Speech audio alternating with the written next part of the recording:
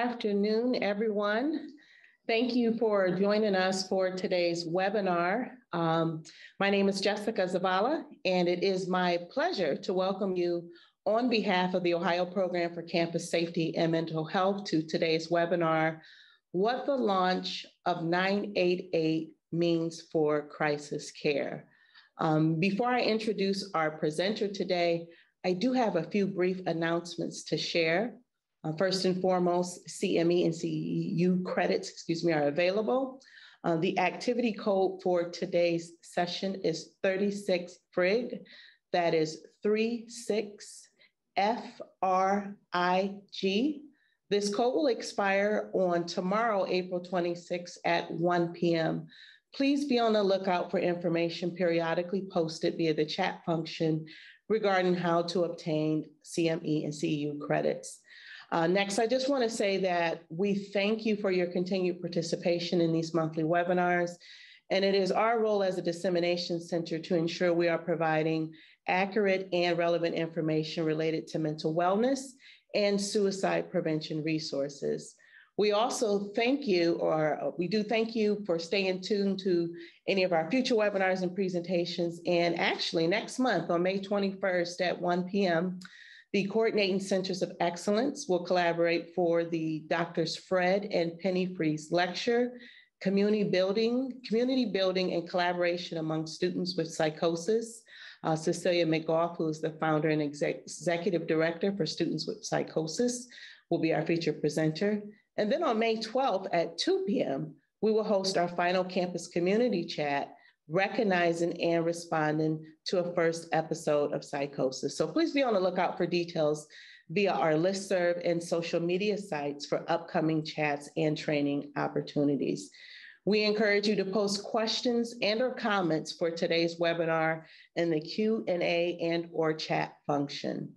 And finally, this webinar will be recorded and the video will be made available for viewing on our YouTube channel. And now to introduce our presenter.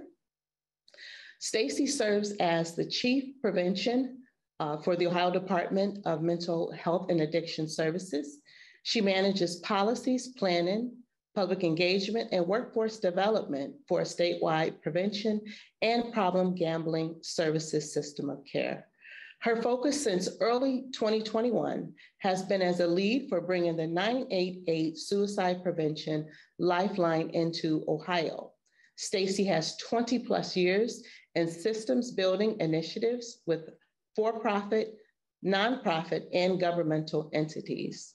She worked with the Ohio Association of County Behavioral Health Authorities on advocacy, outreach, grants, and senior services, including a white paper on Ohio's adult care facilities. Stacey is Ohio certified prevention consultant and master trainer in healthy ideas. She has a master's in public administration and uh, bachelor's in communications from West Liberty University, and she has served six years on city council in Whitehall, Ohio.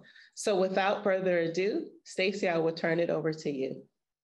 Thank you, Jessica. I also don't want to leave out Ohio University. That's where I received my master's and um, go Bobcats. So with that, I will share my screen.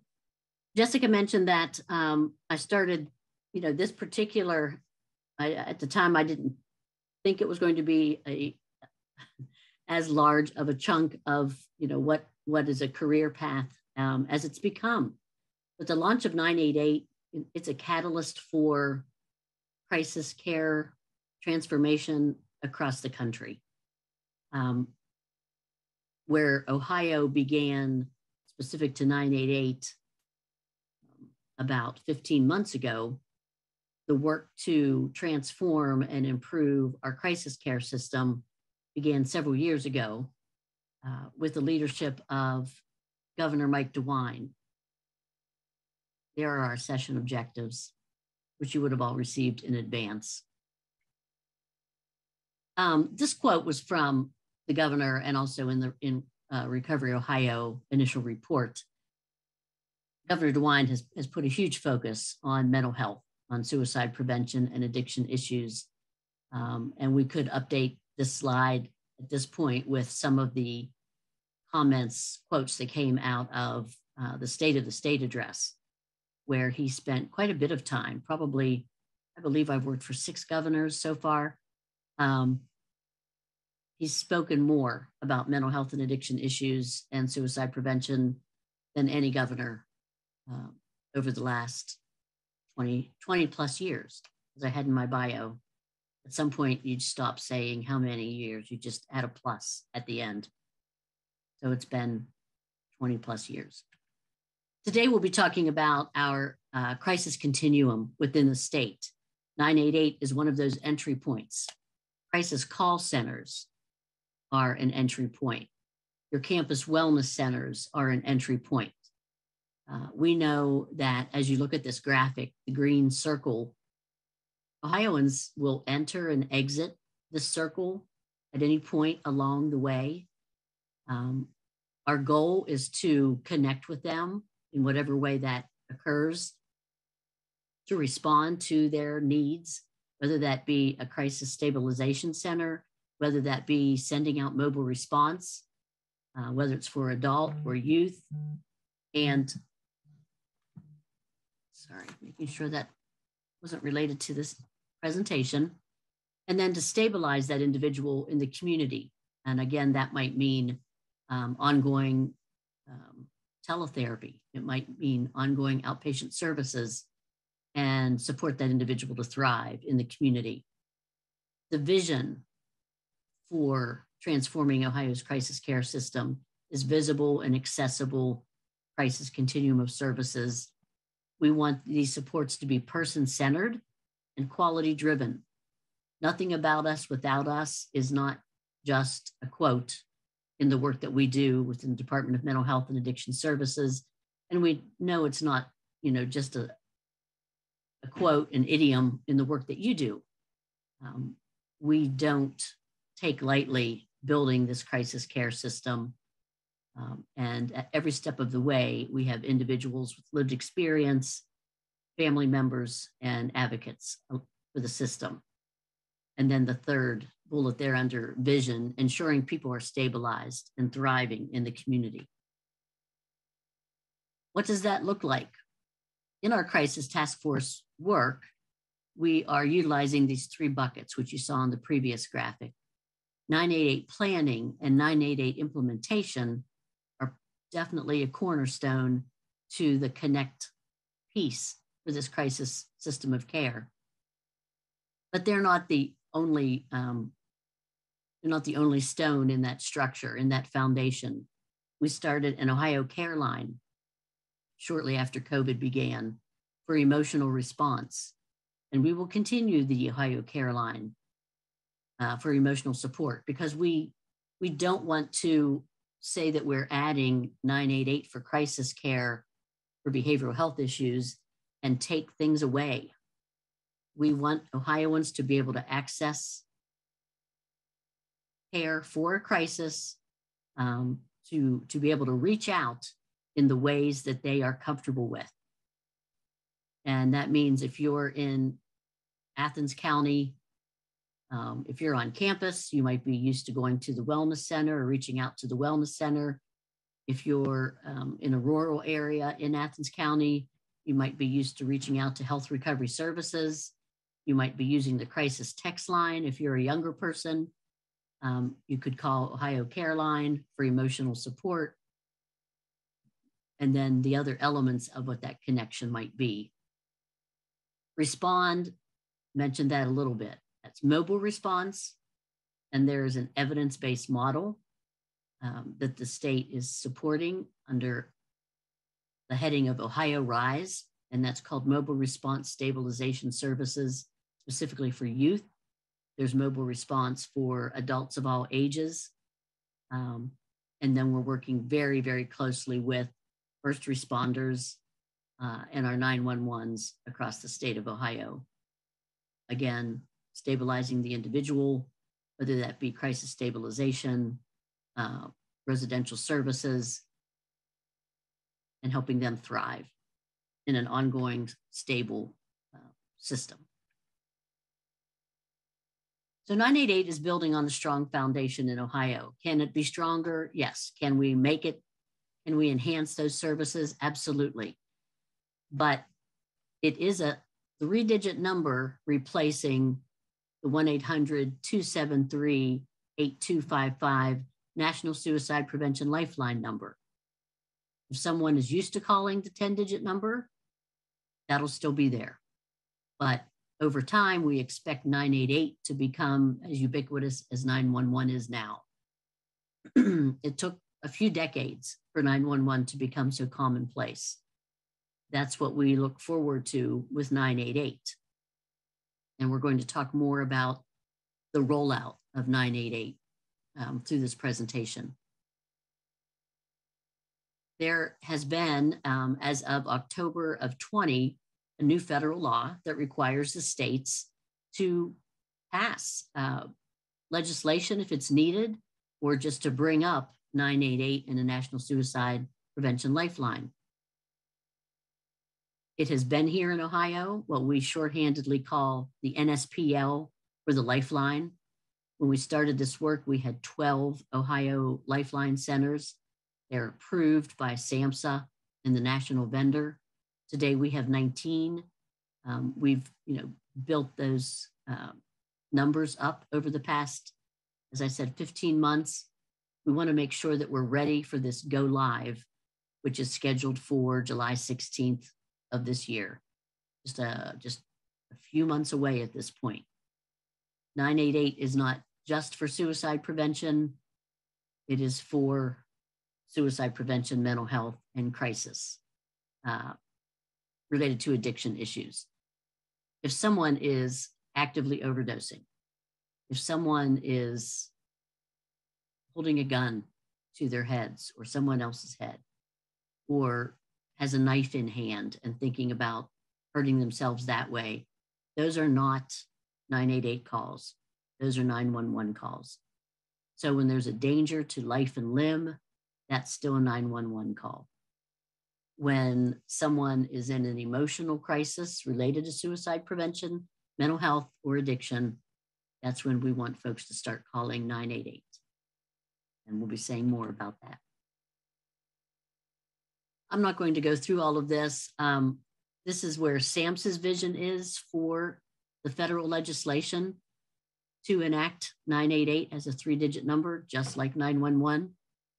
Um, for the specific audience. We know, well, depending on how old you are, you might know decades ago, no one talked about mental health issues. No one talked about addiction issues. Um, and suicide, I would, you know, was a dirty little secret. And to some extent, it still is. Uh, county coroners, you know, may or may not put that on a death certificate. Um, folks may or may not talk about it. Same thing still with mental health or drug overdose. We've come so far, though, in being able to talk about behavioral health issues. To have it be the first thing that kicked off the State of the State address is a breathtaking change. I've been working in um, stigma reduction around behavioral health issues for the last couple decades uh, and we've never seen you know the dramatic changes that we see now. But then we also have very public figures, actors, you know, sports figures, um, folks with a, a platform on a national level who are starting to talk about behavioral health issues and suicide and suicide prevention. So that helps move us along this path. Federal government and SAMHSA's vision for 988 is taking all of that into account. Um, I'd like to point out, you know, there, there have been, you see that third bullet that mentions reducing deadly gaps in a fragmented behavioral health crisis care system by ensuring that Lifeline and 988 centers are in touch with those crisis services in their communities. We'll talk more about how that will happen.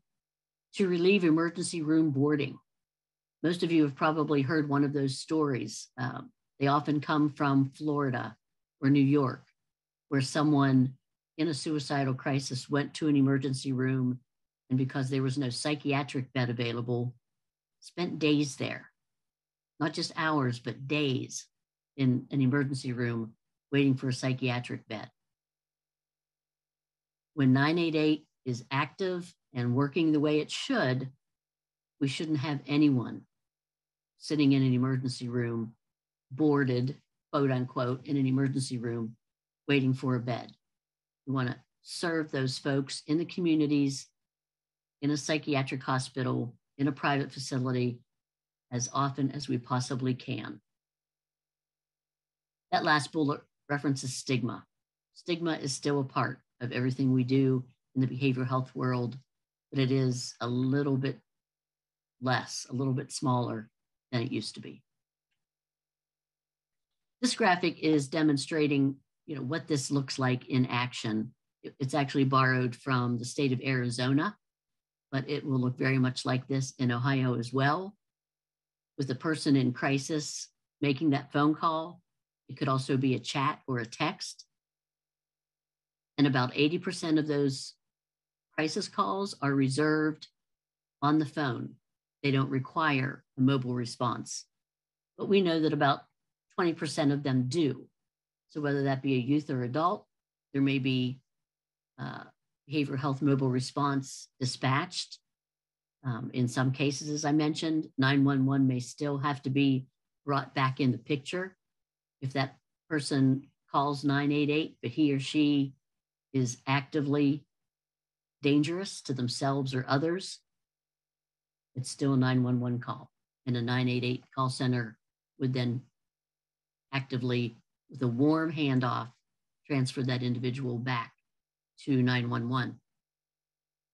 Crisis facilities, in other words, crisis stabilization units, um, crisis centers, they might be drop in centers, they might be emergency departments, they might be uh, psychiatric hospitals. The light blue box that was demonstrating you know, what we're trying to reduce as much as possible jails, emergency departments, inpatient stays. The planning process began, as I've mentioned a couple times, February of 21. All of these groups were part of that planning process. Um, it's been incredibly inclusive, incredibly um, diverse and expansive across the state of Ohio. We've also had folks at the national level with us every step of the way. Um, We've had representation from the Ohio General Assembly and the governor's administration. You'll see Suicide Prevention Foundation, Ohio Citizen Advocates for Addiction Recovery, uh, Equitas, Equality Ohio. Um, those groups have represented LGBTQIA plus perspectives, health plans, telecom, um, all of these, and certainly the behavioral health system of care, our alcohol, drug, and mental health boards, and our certified behavioral health providers across the state, the Lifeline call centers themselves, and some uh, representation of other call centers and call lines. We had a, an initial requirement to submit a draft plan. Um, you can see from this timeline, the plan was due in September of 21 and then a final version was due just this past January. We performed that work. Um, it was extensive and submitted our 75 or so um, page document that laid out step by step with goals and strategies, objectives on how we would implement this um, 988 network across the state of Ohio to support Ohioans in crisis and focus groups were held with people for people with lived experience, um, LGBTQIA plus, African American groups, um, people, uh, family members. Uh, six focus groups total met, um, reviewed elements of the plan, commented, and you know nothing was written um, into the plan that wasn't supported from the perspective of people that could be impacted by the work of the 988 system and Ohio's crisis care system. Another look at timeline. You'll see that this one goes into June of 2025. It's really just the tip of the iceberg. As I've said, decades for 911. We know that 988 will be around for that same time frame. Um, and so much of the work to be done still needs to be done. It just launches this coming July. We will continue intensively working on the 988 system over the next 12 months from July 1st, 22 on. But uh, so many elements of it need to be phased in. And it's not just Ohio's work that needs phased in, it's also at the national level. And we'll talk more about that as we make um, decisions and look at best practices, standards, and certification. All of the work that needs to be done in Ohio is also being looked at across the country, interfaced with, with 911. That's another large piece of the work to ensure uh, a stable, quality crisis care system. Our priorities. Number one has been building system capacity. Really, the work over the past year to 15 months has all been about capacity. As I said, we've grown from 12 to 19 Lifeline centers. Um, those centers, we'll talk a little bit more about funding soon, but they they were funded on a piecemeal basis. Um, the alcohol, drug, mental health boards have provided funding for the Lifeline centers. Some of those funds came from the state, from the federal government. Um, Life, Lifeline centers have been funded by United Way. They've been funded by private foundations. Um, it's been a you know, putting together a puzzle. As of just two months ago, uh, the, the state has determined that we would take over the funding of Lifeline approved call centers. So we've started to put capacity building funds into the community um, just a couple months ago. The plan was determined prior to that. Um, but we know that as the word gets out about 988, we will need more capacity to take on those calls, chats, chats, and texts. And again, we will talk more about that as we get further into the slide slides. Um, number two has been about training, quality, standards, certification. Um, we work with OSU College of Social Work and this is actually work that began with the Ohio Care Line. There's an extensive array of free on demand crisis call center trainings already online. Anyone can take them. Um, any call center can take advantage of them, not just the 988 centers, but any call center around the state. Uh, any behavioral health professional could also take those. There are also live webinars listed there and those are available to anyone, and those have continuing education with them. And then that third bucket is about technology, it's about data.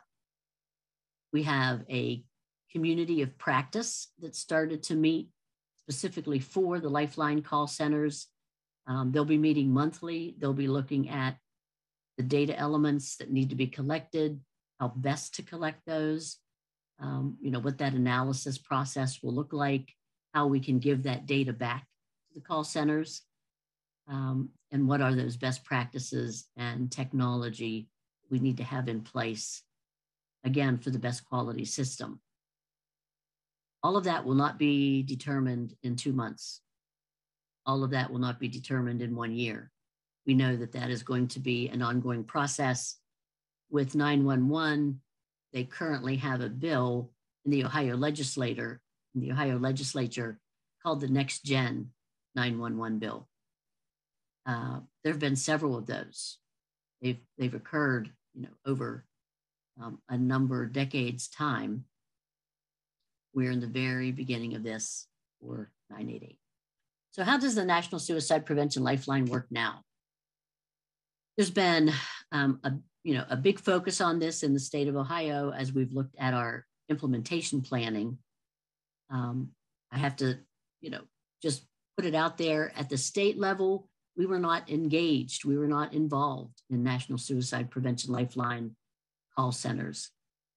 Our focus on that just began last um, February.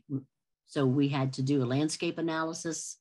Um, we had to do a needs assessment to see where we are. At the national level, it was reported that there were 70 to 80,000 calls coming into a, I'm sorry, being placed from Ohioans and coming back to Ohio. Um, there were additional calls that were being placed by Ohioans and going out to states all over the country that were backup centers. So Ohio's capacity for the National Suicide Prevention Lifeline calls, chats, chats, and texts was not where it needed to be when we started. The National Suicide Prevention Lifeline, though, was up and running. Those folks that made those calls, chats, and texts, um, someone responded, someone picked up that call, and they were given responses. Uh, but I would say they were not the ideal responses that we're working towards. They were not always the evidence based responses that we're working towards. Um, it was somewhat of a loose system of call centers across the country. Again, that's not where we're heading. This map of the state of Ohio is showing where we were, and then as of April 1st, where we are now. We only had 45 counties with primary coverage for the National Suicide Prevention Lifeline. So I just said that a lot of the Lifeline calls were leaving our state. That was why if you lived in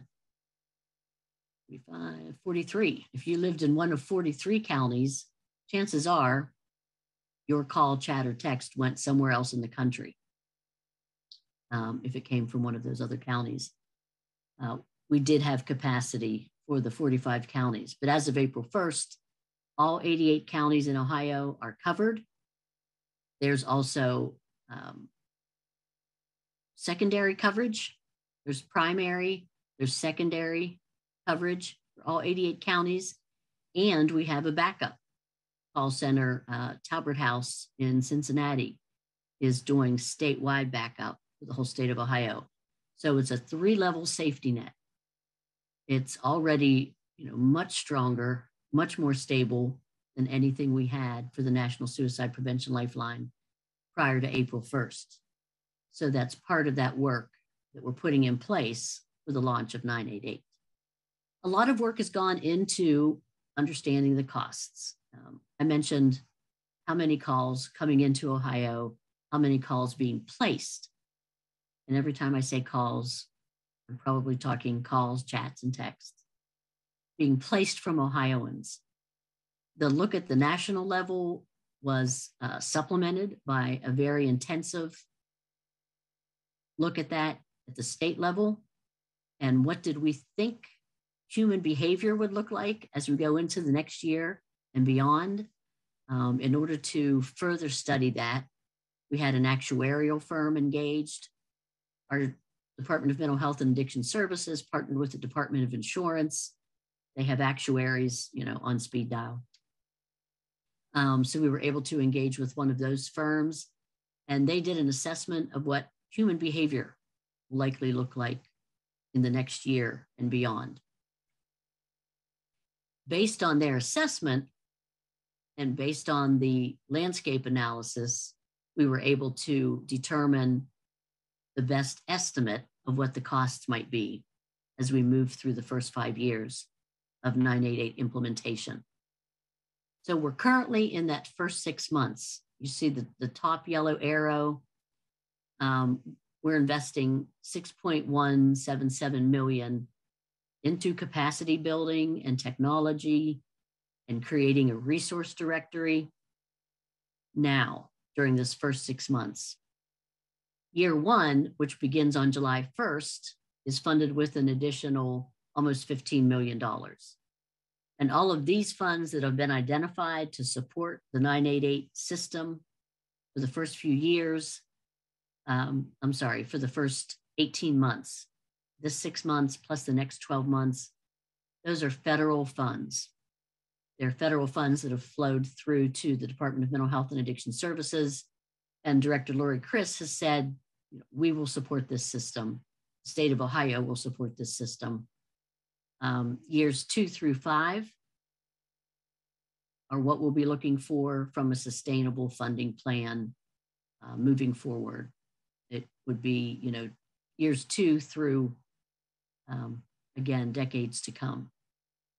Um, we have a number of directions from a funding standpoint to go. Um, we have actually more more possibilities than than this. Um, there's a there's a lot of work going on with the Ohio General Assembly to determine a sustainable funding structure. Um, we do have a bill with the Ohio Ohio General Assembly, and that is State Representative Gail Pavliga. Um, she has House Bill 468, and it has passed through the House and will be um, considered by the Senate.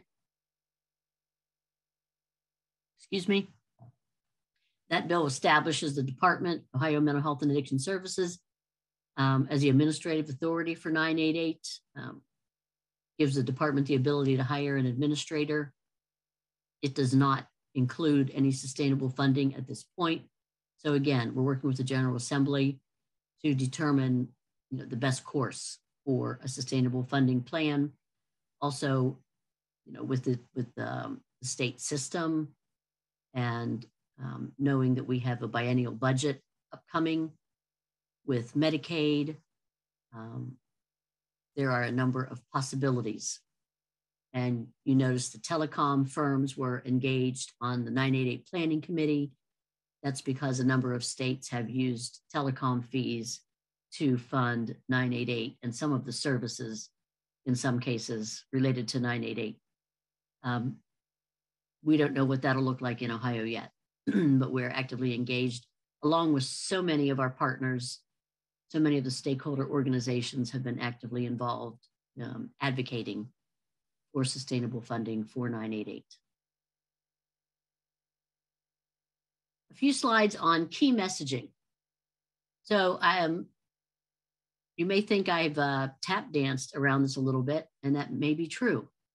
At this point, SAMHSA, the Substance Abuse and Mental Health Services Administration, the Centers for Disease Control and Prevention, and the National Suicide Prevention Lifeline are all strongly encouraging states to educate crisis system partners not to launch a large statewide media campaign to get the word out about 988. We want to make sure that partners like all of you are aware that it's coming, understand what it is, um, you know, understand the impact that we expect that it will have, but probably not to buy billboards not to launch a social media campaign.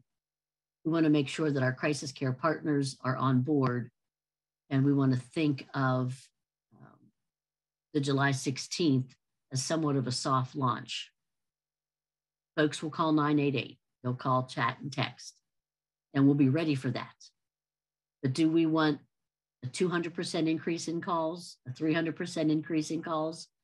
Um, not really the actuaries looked at about a 65% increase in calls, chats, and texts for that first year, an additional 25% for the second year, and around 15% additional every year, um, you know, potentially forever more.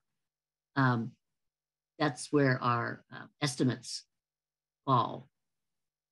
So let me get back to this particular slide. We want to make sure that all of you understand that help will be available and it's okay to ask for help with regard to calling 988. We want to be able to talk about it. What is it? As I said, if it's a suicide crisis, mental health, or addiction, call 988. If it's danger to life and limb, if it means life or death, call 911. We want our crisis care partners to understand what will happen next. You know, there may be mobile response. there may be an appointment set up and a warm handoff for someone for outpatient services. Um, that mobile response may lead to crisis stabilization and so on. The work at the national level on what overall marketing for 988 will look like is in its infancy stages. Um, these sample logos, I dropped them in here just so you could see what they might look like, but they're still, I mean, they just came out last week. That's how, that's what the timing looks like when we talk about general um, public marketing. It is a transformative change. It is, uh, there's a catalytic converter on the car. I don't know what that means, um, but catalyst is the kind of change, a catalytic change in terms of our crisis care system being pushed by 988. You'll have access to these slides. Um, this is some of that basic information that we do encourage you to share with all of your partners, um, primarily in the education system, in the behavioral health systems, um, your wellness centers, and so on. We've already reviewed all of this. You'll see this pre-July and post-July. Notice that very first bullet. Hold off promoting use of 988. Continue to use the 1-800, the 10-digit number, and that is up until July, up until July 16th. Um, we don't want a lot, we don't want hundreds of thousands of folks calling 988 now. It won't be turned on now. Um, most providers have made the switch. You can try it after this webinar. Go ahead and, and call 988. If you have Verizon, Sprint, T-Mobile, it probably is on and working for you. But so many Ohioans do not. They have, you know, pay-as-you-go phones. Um, they have other phones that are not on the major carriers and it will not be on for them yet. Share basic information. We encourage that. Um, within your crisis care centers, within your wellness centers, feel free to talk about 988 to put up any um, signage that becomes available after July 16th. And how will you talk about it? Well, partnering with local national champions and that's going to be different for um, you know everybody participating today engaging storytellers. I was emphasizing how our advocacy partners have been so valuable so far and we know that they'll continue to be valuable. And that includes all of you. How can we ensure this is the best possible crisis system um, that will benefit everyone everyone that it needs to benefit in the state of ohio? So that means young people on campus, it means staff, um, it means K through 12 education, Ohioans across the lifespan, and working with media. And we are keeping media briefed, and they're getting the same message. They will not be seeing a national media campaign uh, anytime soon around 988. The system needs to be tested. We need to gather data we need to troubleshoot over the coming months. Social media. And what do these next steps look like? Checking time again. Okay. We want to do what we're doing today educate groups that will help get the word out about 988 and what it means. Um, continuing to work with the General Assembly, continuing to focus on best practices, standards, certification related to call, crisis call centers, focusing on that sustainability uh, element in terms of funding in order to support the resources needed across the crisis care system, working with 911 and the public service answering points all across the state of Ohio, hiring um, staff. Let me talk for a minute about the resource directory. How will all of the crisis call centers know where to send someone who calls in. Um, this has been a huge focus of our work to date. There will be and a free online crisis services, behavioral health crisis services resource directory. We actually had an RFP posted and it's been awarded, although we can't announce who received it yet because there's a, a funding process going on at the state level. Um, but a vendor will be bringing up an online resource directory. It will indicate what counties a particular um, service is serving. Um, it will be accessible by all the crisis call centers, not just the 988 call centers, um, all crisis call centers across the state, the behavioral health service system, campuses, colleges, universities, anyone in the state will be able to go online and use this resource directory. Only people with accounts will be able to submit updates in terms of you know their particular if you're a behavioral health provider you'll have an account in order to keep your listing accurate you know, what's the number what's the website um, who do you call for an appointment? That kind of thing. Is there a different after hours number and so on? Um, that resource directory, as I said, it's online. So if someone is out of their service area because of the area code that they have on their phones, in other words, that call could end up I'm a student from Florida and my phone has a Florida area code when that student makes a 988 call, that call will go to Florida. So, how does the person in Florida know what resource to use to help that student? They will have access to the online resource directory, as will everyone else. Um, it would go to a National Suicide Prevention Lifeline call center in Florida.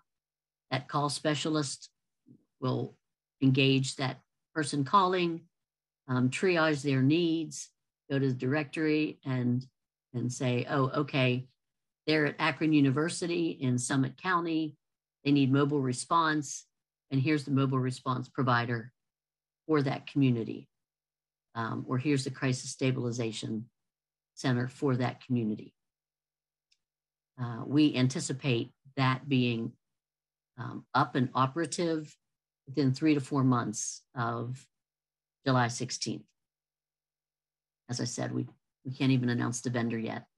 That's a very significant piece of, of ensuring this quality system. And the last slide is just some more background information, a little bit about the messaging campaign. Um, you may find aligning the field around the 988 messaging framework valuable and my email. And with that, I will unshare.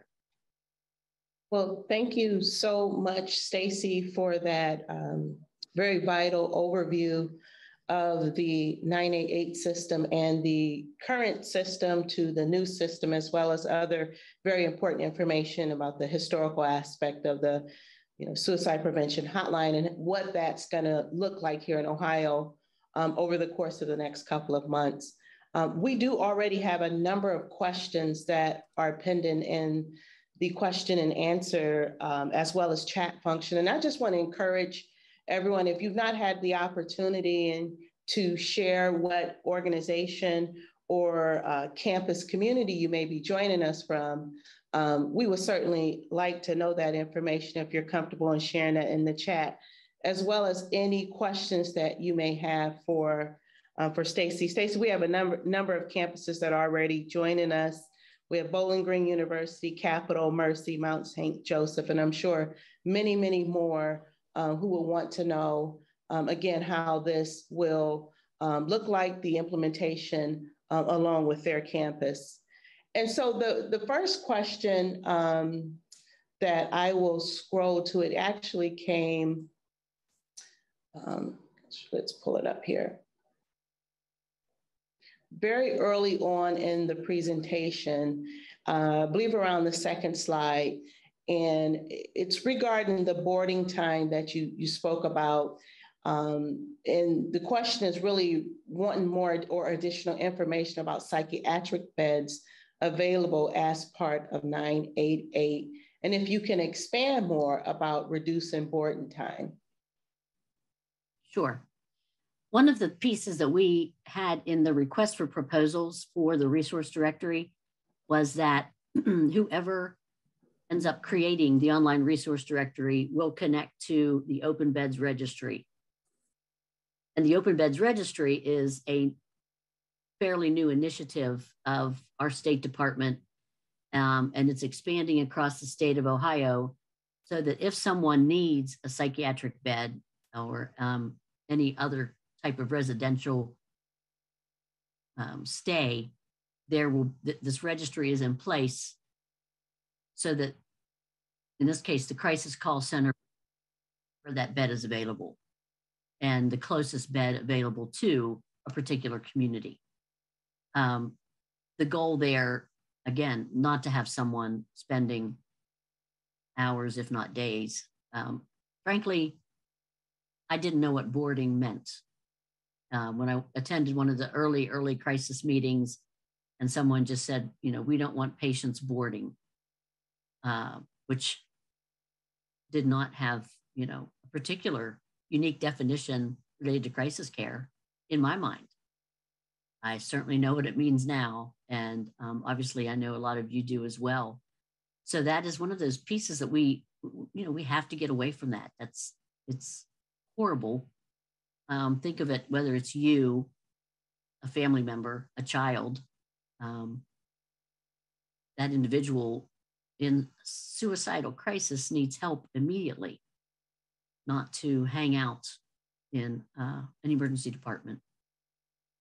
I've talked to emergency department physicians myself, um, and they've said, I mean, they've been hesitant to admit, but even in Ohio, I've heard of a couple cases where um, people have boarded in an ED for a couple days. So it's not just New York and Florida, and I'll apologize for picking on them, um, but we have had that situation in our own state. We so um, in general the psych the six psychiatric hospitals, but then Ohio has I don't know a number of our, our private psychiatric hospitals. There's quite a few of them, and the goal would be um, the least restrictive environment, as it always is, for anyone with a behavioral health crisis issue. Certainly, and, and thank you for that response, Stacey. The next question um, really is around the role of higher education and the crisis response system of care. Um, and it really is how do you suggest um, that students, staff, and faculty, um, how can they be best supported in the implementation of 988? You know, when I, as I was thinking about this presentation, I was thinking I'm, I'm certainly not coming to all of you with a uh, with a template. Um, you know, this is what you need, and take this and build this on your campus because I don't think it's a one size fits all at all. Um, we have the Rise and Thrive, which was funded with uh, governor's education and relief funding. As I mentioned, we do work with the Department of Higher Education. Goal of all that is to ensure that you have the service array that you need on campus. And if you don't, that you have developed community partnerships with the behavioral health care system off campus and have those connections in place. From a template standpoint, I think that's all, you know, I can bring to you at this point. Um, it's going to look different. It's going to look different from each of your systems.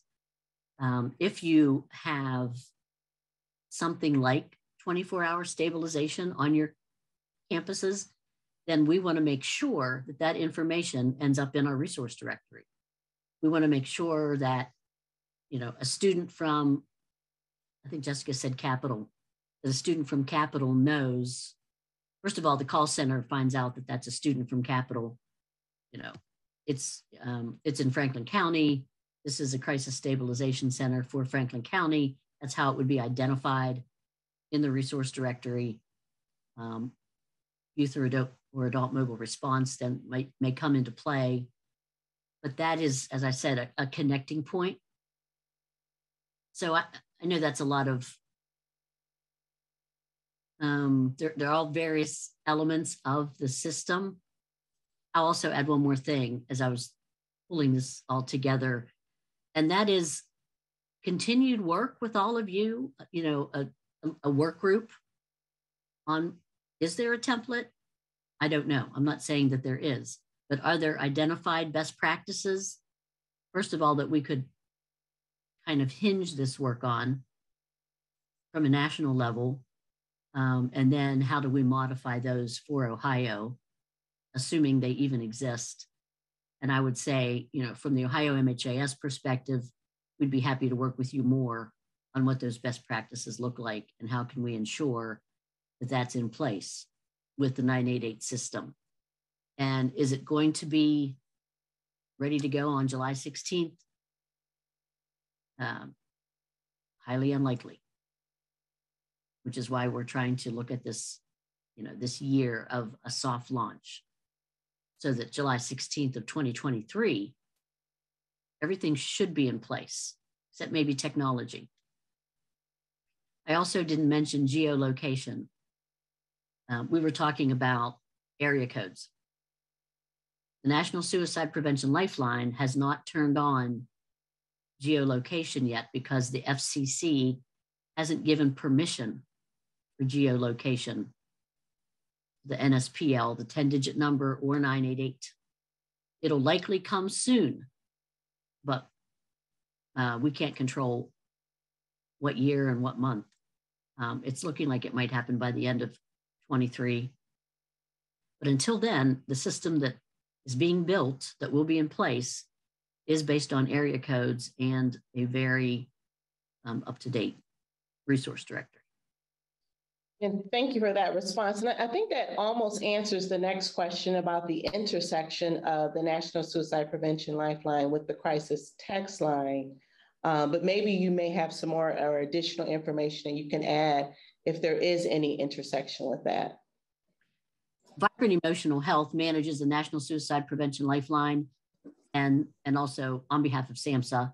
And they are in talks with the crisis text line. Uh, what will happen in Ohio is, as I said, we aren't taking anything away. Any part of the safety net that exists now will remain. So if you're one of the 35,000 or so folks that have used the crisis text line in Ohio, it will be there. It will be there for you. It will be there for those, those individuals. Um, 988 will become a textable number on July 16th. Um, so that will be an additional opportunity. And hopefully it will engage even more people into texting for help because they're more comfortable with that.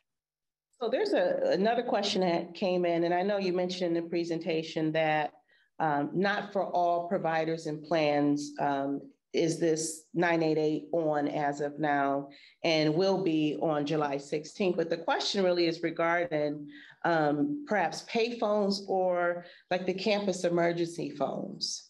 Um, can the expectation be that those phones will also kind of be brought up to speed on the July 16th date?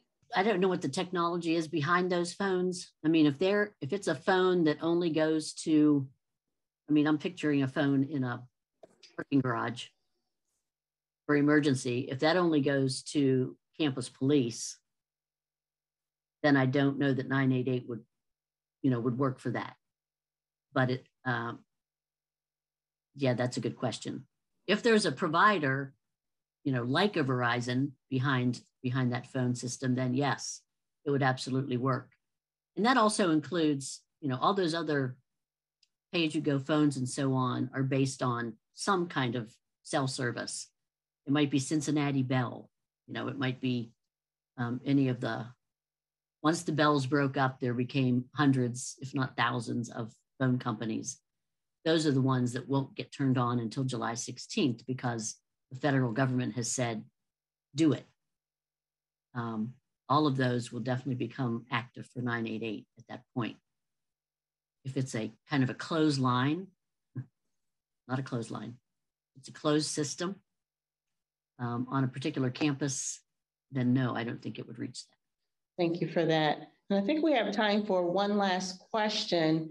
And this question, uh, Stacey, speaks to also something that you addressed or did share briefly in your presentation um, about individuals who was involved in the process. Um, and so it says, how have individuals with lived experience of mental illness been involved in the development of this rollout?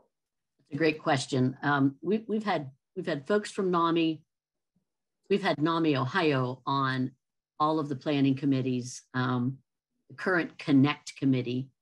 Once the planning committee went away, then we um, transitioned to a Connect group, which was not just 988, but all of crisis call centers engaged.